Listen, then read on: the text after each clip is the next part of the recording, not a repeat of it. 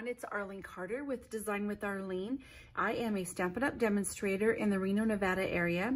And if you've watched some of my most recent videos, you know that I am going through the catalog starting at the beginning and going through and picking out the stamp sets that I own. So today, the next stamp set would be on page 16, and that is called the Butterfly Wishes. And that is this set right here. I'll be using that to make this particular card. And let me show you the card that I have already made. This is just one of the samples that I made for the Facebook live on Friday on my Facebook page, but this is what's called a uh, pyramid card. I've also seen it called a teepee card, and it folds down flat like this, and then when you open it up, you put it together, and it opens up and it stands like this. There you get to see the top view of it, but it stands alone and then all of the three sides you can see as well too. What's nice about this too is it also fits in a regular A2 size envelope when you fold it flat. So you would fold it like this for mailing and then you can see it just uh, fits perfectly into that envelope right there. Okay, so as I said, I'm using the Butterfly Wishes. I'm also going to be using, this is the stamp set, and then I'm also using the Butterfly Duet Punch. So that has these cut out, two of the stamps in here very nicely. So using that, I also have another, this is the Tailored Tag Punch. I'll be using this one as well. And then for cardstock, I'm going to be using the Pacific Point. So you, this is some colors. I've told my 12-year-old, go ahead and pick three colors for me. And he did pick out some colors. He actually picked out Garden Green. He's got Pacific Point and he also has Gorgeous Grape. So these are the three colors he picked out. So because of that, I went ahead and used the Pacific Point as the base of my card. These are square, so they're four inch square and um, three of those. And then I have two pieces of some designer series paper. This is in the Artistry Blooms set. And I've got, these are cut to two squares, each three and three fourths inches. And remember when you, if you want to get the measurements and then the, all the products that I've used, head on over to my blog. Uh, down, it's linked below. You just follow that link and it will take you right there where you need to go. And then you'll also just want to get a couple pieces of some some scrap pieces of paper of Whisper White. I just have a little, I haven't even measured this, but it's just a little smaller scrap that I'll be stamping on. And then what I have done is I've taken a piece of Whisper White and I've, or I've punched out from the Butterfly Duet punch. I went ahead and punched that out. Okay, so we've got that. So with your paper trimmer next, you want to go ahead and take the four inch squares and using your scoring blade, you want to place that, those squares from corner to corner, okay, on the diagonal. So eat opposite corners and just place them directly so they match up to where that little, the valley is right there. And then go ahead and score those. It's gonna be on all three pieces that you'll want to do that the three pieces of the Pacific Point.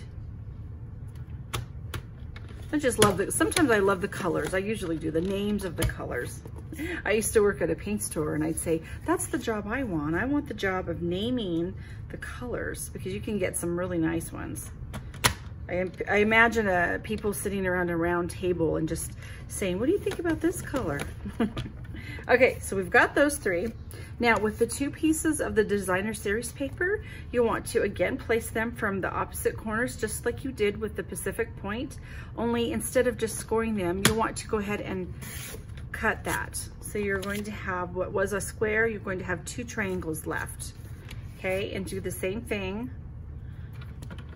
on the second square of designer series paper. So you have that. Okay, so we've got these three and let's go ahead and fold them on the score lines and give it a good crease with your bone folder. And I'm going to be doing that with all three of the pieces of the Pacific Point. Okay, just like this. And then the next thing will, is we're going to adhere these together. Now what I like to do is use a liquid glue for this particular project because what it's going to do is sometimes you need to move this around because you, you want to really make sure that you get it lined up well. And so the liquid glue gives you some a little bit of bind time. It gives some time or it doesn't adhere super quickly like a dryer adhesive would. So that's why I like to do that. So what I found works best for me is I turn it over. So this fold is actually like a mountain fold. Okay, so it's face the mountain is facing up. And then for the, the remaining two squares, flip that over as well. And then what I'm going to do is I want to glue a piece here so you can see the edge right here is going to match up with the middle fold and then the fold right here is going to be on the diagonal and then the remaining piece of paper is going to be the same way just on the opposite side okay so let's take the first piece of paper and what I like to do is this square that's on the left that I've overlapped the, the uh, paper on the bottom, I like to use this as a guideline for the opposite side. So I know that I'm going to be taking some glue and just running that, you can see at the bottom of that, the edge, and that's where you wanna place your glue. You don't want to go any below, any further below that.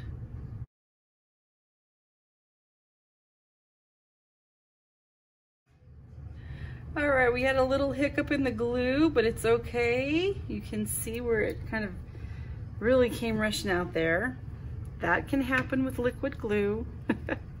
All right, and then I'm going to go ahead and just glue this, second, this piece on the right-hand side, and the left edge is going to line up with that middle fold right here. And then the corner is going to if you flip it over, you wanna make sure that you're able to fold this corner over, okay? And this is where the liquid glue does come in handy. Okay, and then I'm going to go over to the other side and do the same thing as well.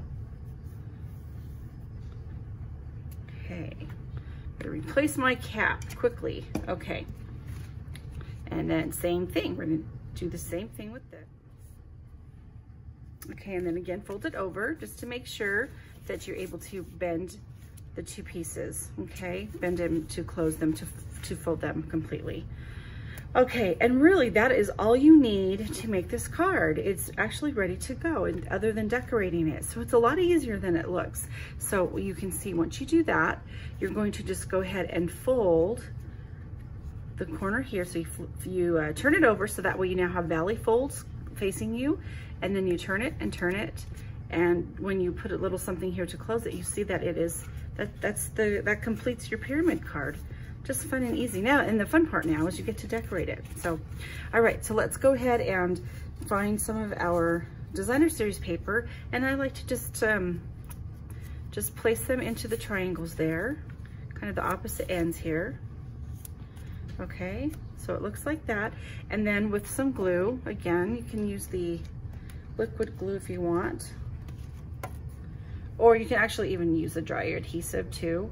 This it's not as important as it was, you know, making sure it lines up and if you need to kind of move it around a little bit. But now this one would be okay. It's pretty good. But you can see too right there. I find with um, older eyes now, I need a little bit of, of uh, more grace. I do need some more drying time on there seems like. I don't always, I used to be able to be really good at eyeing it and putting it on pretty well, but the joys. okay, so there's that. You notice what I'm doing is I'm just putting like basically purple green, purple green. There's the gorgeous grape. We use some of kind of a garden green and these two colors along with the Pacific Point. Okay, grab that one on there. Okay, one more.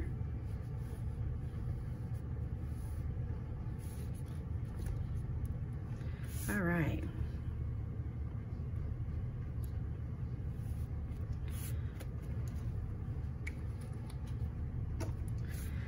Okay, so I'm just going to go ahead and set that aside for just a moment. It's good to set that aside and kind of give it, let it, um, give it some more drying time. And the next thing that I'm going to be doing is taking my Stamparatus, using a, a, a fun little tool today, and this just gives you some ideas of ways that you can use it as far as for, for different placement and things like that. So with the stamp set, I've got the butterfly wishes right here. I'm going to go ahead and use the two stamps that coordinate with that label punch. And that one is the larger butterfly and then the little, the smaller butterfly as well, okay? And the next thing that I want to do is I wanna go ahead and place this, the, um, the butterfly, the punch that I've punched out right here.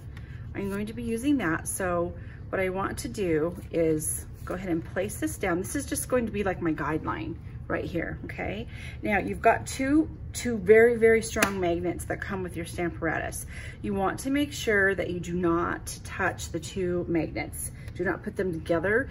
Try to not even put them close together. That's just um, very important because they're so strong that if they happen to come in contact with each other, they can break. And when they break, they just, they snap okay? So the next thing that I want to do is I'm going to just place, I'm using the, the cutout, the part that I've already punched out as basically just a, like a guideline. So I'm just going to set that larger stamp right in there. and line that up, okay? And then with my plate, one of my plates, I'm just going to close it and that's going to lift up that butterfly, okay? And then I'm going to take the smaller butterfly and that's just going to, again, line it up from your punch out right there, okay? And take the other plate and push it down and it will catch, it'll catch on, it'll cling, that stamp clings onto your plate right there, okay? Now, the next thing that I want to do is go ahead and remove the, the piece that I've cut out. If you're using this for multiple cards, well, you'll see that you can do this and you'll punch it out. It, you can save this if you want and keep it in with your stamp set. But I'm going to take my, my um, Whisper White cardstock next. And again, just set that there. Now I have learned a little trick with this is it's better to put that larger butterfly toward the bottom of my paper just because it will cut out a little bit better.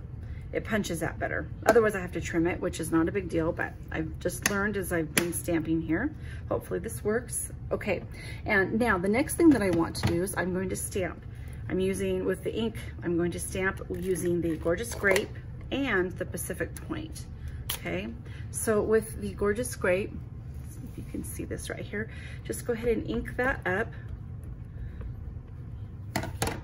okay? The Just the larger, you notice I'm doing just the larger butterfly. Press down and lift up. I've got that beautiful, gorgeous grape. And then the next thing that I want to do is with that smaller butterfly that is above on the top plate,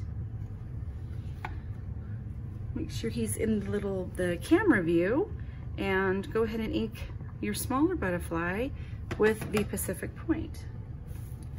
Okay and then press down.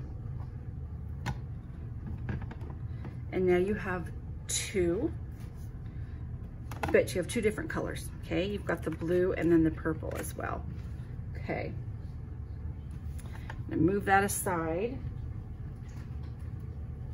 Now this is where the fun part comes in at.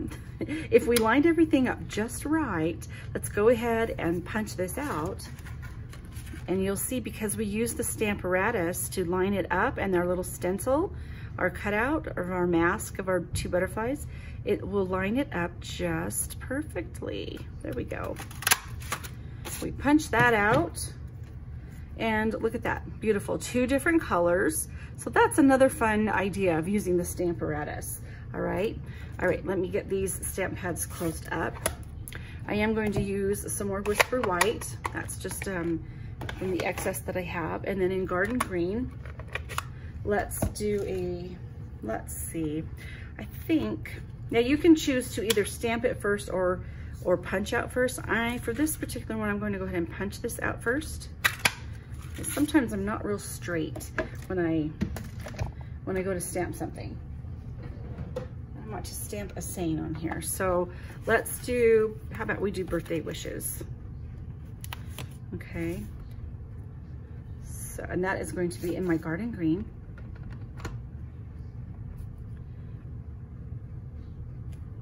There we go.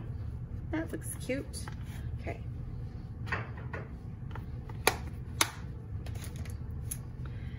Now we get to kind of put this whole thing together. This is going to be fun. So now we get to figure out where the placement is. So you want to be closing it up. Now remember when you have something right, you, you will need to have some sort of something right here to help keep it closed, that pyramid, otherwise it's just going to kind of flop open. So I like to take a dimensional, a little Stampin' Dimensional, and we will, actually I can use a larger one. Let's use the larger one, I think, for the larger butterfly, okay. Okay, so let's just add a little Stampin' Dimensional. And we do need to make sure that we close it like this. And then the next thing we do is just go ahead and put that little butterfly. So it kind of needs to be positioned right there, but also you wanna make sure it's going to be over so that it doesn't overlap so it will fit in the envelope, okay? So you see, you notice how I just have it just when it closes, it will still be able to fit into the envelope, okay? But when I close it, it will stay closed because the butterfly's right there. And if you want to, you can always lift it up just a little bit like this, okay? And close it there. Now the next thing that I want to do is go ahead and attach the birthday wishes somewhere on here. So I might just, I think, just go ahead and put it right here. So let's grab my Stampin' Seal.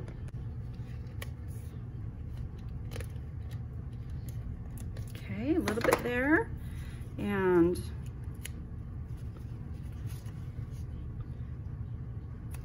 like that. And then I'm taking the little mini dimensionals and we're going to add this little butterfly here too. The little mini butterfly. Okay. Again, if you wanted to spin the wings up just slightly. Let's see, put them right there. There we go. Okay. The next thing that I like to do is add just a little bit of bling. Let's try some metallic pearls, I think gonna lay that down. Got some gold or some silver in here. These will be pretty.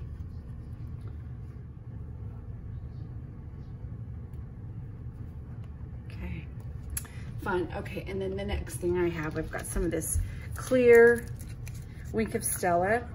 Let's try putting that on.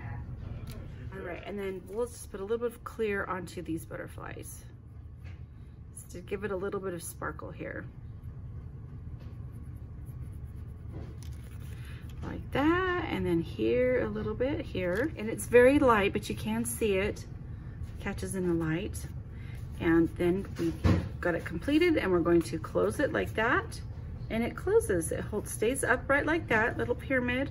And you've got some of your designer series paper here with little birthday wishes here. So there is the card for you today for this tutorial. Again, remember head on over to my blog for the measurements and all the products that I've used. It will link you over to my store, which is open 24 seven. That's the great part about it, right? Internet shopping. Again, it will close up, put it into an envelope. All right, everybody, thanks so much for watching and have a great day. Bye.